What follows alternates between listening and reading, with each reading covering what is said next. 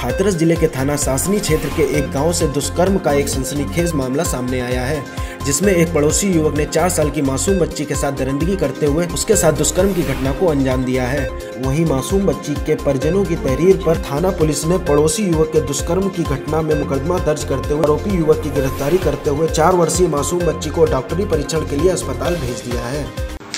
में एक एक बच्ची के संग रेप हुआ है, तीन वर्ष के क्या मामला है?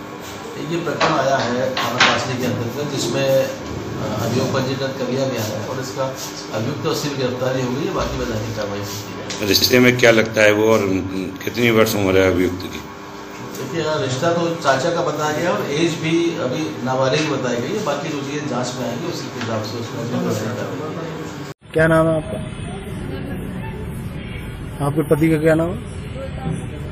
ये आपकी बच्ची के साथ क्या घटना हुई थी?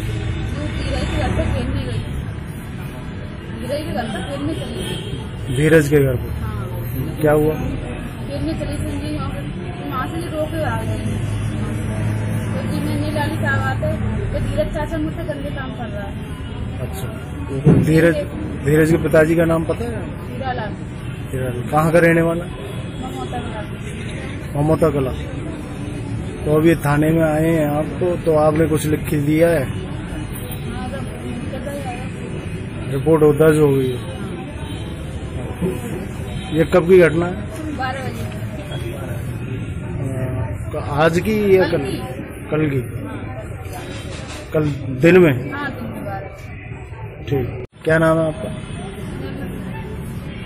आपके पति का क्या नाम है? ये आपकी बच्ची के साथ क्या घटना हुई थी?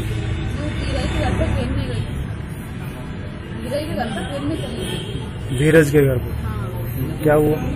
चली वहाँ तो वहाँ से रोक आ गई जी मैंने लाली साहब आते धीरज चाचा मुझसे गंदे काम कर रहा है। अच्छा। तो धीरज धीरज के पिताजी का नाम पता है? कहाँ का रहने वाला?